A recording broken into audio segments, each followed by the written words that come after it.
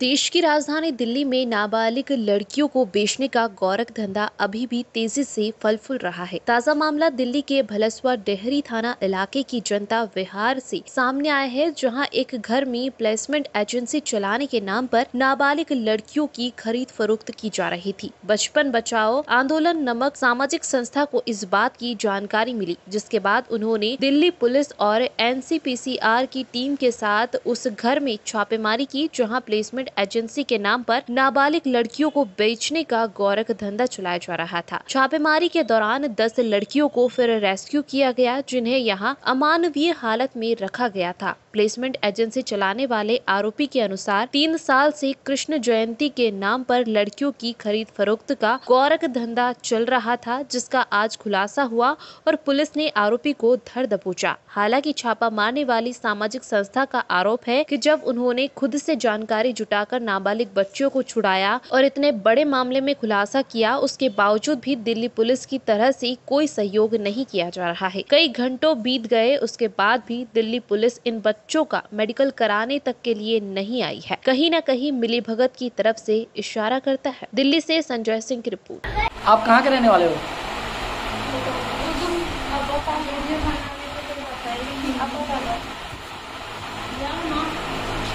बताओ कहाँ का रहने वाले हो आप लोग?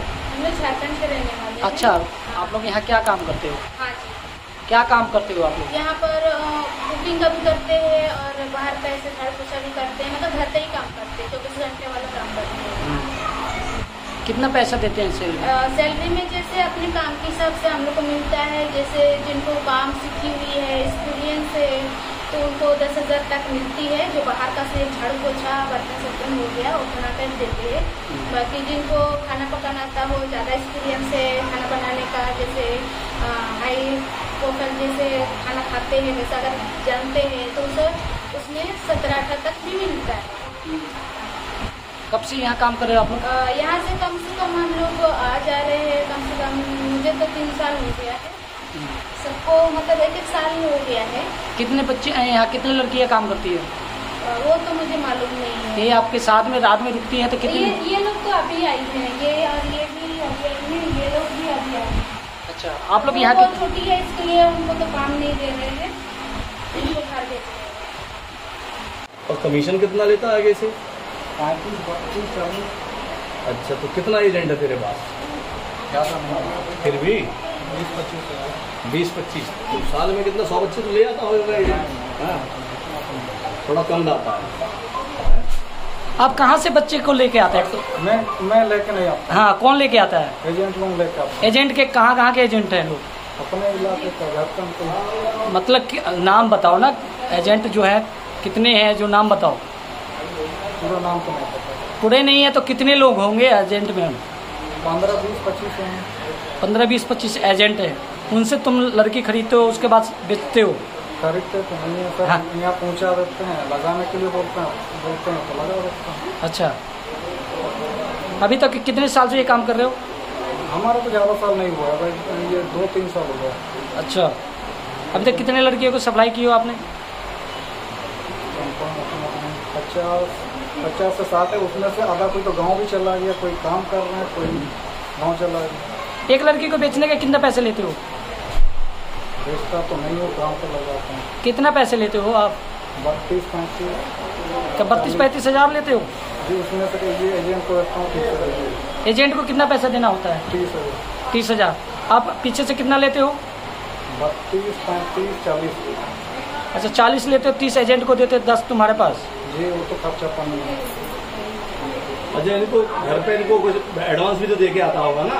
एजेंट लोग कैसे करके ले आते हैं? एडवांस दे के ले वो नहीं पता तो होगा तुमको दस पाँच हज़ार रुपये हाँ कोई कोई तो देते हैं कोई फैमिली के घर में? फैमिली को देता है दस बीस हज़ार रुपये एडवांस हाँ कोई कोई देते होंगे कोई कोई नहीं देते। जी सर क्या नाम है आपका? जी मेरा नाम मनीष शर्मा है। मनीष जी क्या सूचना मिली थी? देखिए हमारे पास आज सुबह कहीं से कोई इन्फॉर्मेशन आई थी क्योंकि फ़ील्ड में बचपन बचाओ आंदोलन के बहुत सारे लोग काम करते हैं।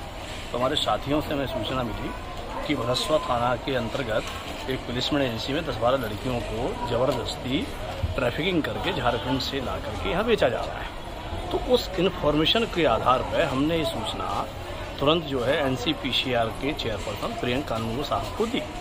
तो प्रियंका कानूनगो साहब ने तुरंत एक टीम गठित करी और उनके नेतृत्व में आज हम लोग यहाँ पहुँचे भरतसर थाने में और local police anti human trafficking unit के सहयोग से यहाँ से करीब दस लड़कियों को रेस्क्यू कराया और पुलिस ने चार एक्यूज को भी डिटेन किया हुआ है। तो बाकी इन्वेस्टिगेशन चल रहा है। लड़कियों को कहना है कि उनको जो है बहला फुसला करके झारखंड से अच्छे काम और अच्छे वेतन का लालच देकर के यहाँ लाया गया था। क्या लग रहा है कि उनसे बात हुई थी तो उनका कुछ कहना और है कि क्या लड़कियों को वहाँ से खरीद के लिए आकर यहाँ बेचते थे? जी देख जैसा कि आपने भी अपने वीडियो में देखा आपने जब बात करी उस एक्यूज से जो मैन ट्रैफिकर है कि इनका एक बहुत बड़ा नेक्सेस होता है।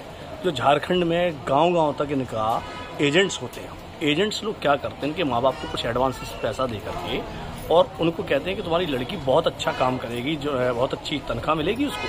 हमारे साथ दिल्ली भेज दो तो बेचारे वो उसके बहला बहला कर फुसला कर उनकी लड़कियों को ले आते हैं। वो अनपढ़ होते हैं, ज़्यादा चीज़ों को समझ नहीं पाते हैं। और यहाँ ला करके उनको एक गुलामी की ज़िंदगी में धकेल दिया जाता है। तो यही इन लड़कियों के साथ हुआ। जिन लड़कियों की उम्र अभी खेलने कूदने की थी, पढ़ने की थी, उन लड़कियों को काम की भट्टी में झोंक दिया गया। जो आपने बताया कि दस लड़की है क्या क्या उम्र रही होगी सर? देखिए सबसे छोटी जो बच्ची मैंने देखा कि लगभग नौ साल की है और बाकी कुछ बच्ची बारह तेरह चौदह साल की भी है उसमें। अभी तक पुलिस के क्या कार्रवाई रहा सर? अभी तो लोकल पुलिस आई है और इसके बाद वो लोग अभी लड़कियों को लेकर के मेडिकल कराएँगे और उसके बाद किसी होम में सी डब्ल्यू सी के ऑर्डर पर उनको होम में भेजा जाएगा और बचपन बचाओ आंदोलन का क्या क्या किया जाए? इसमें एस डी एम साहब से बात हुई थी उन्होंने क्या आश्वासन दिया?